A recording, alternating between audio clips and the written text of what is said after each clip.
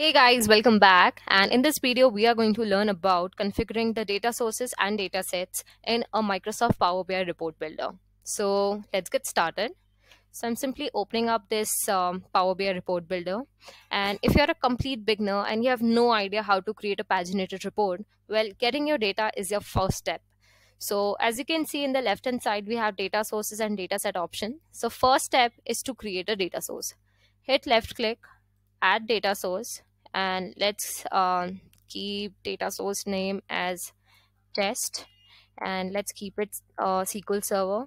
The reason being what I will do is I will be calling this particular tables. So as you can see localhost is my server wherein I have this particular database uh, session under which I have got these many tables. So we are going to bring this tables in the report builder over there.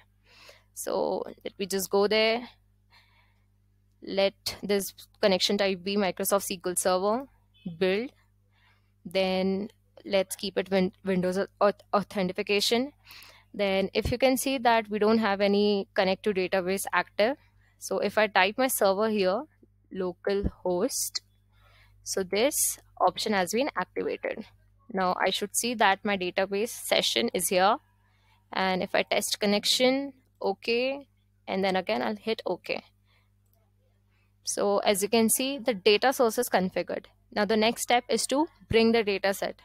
So again, right click, data set, and let's keep this as data set one, bringing data source as test. And now we want to see where are my tables. So let's click on query designer.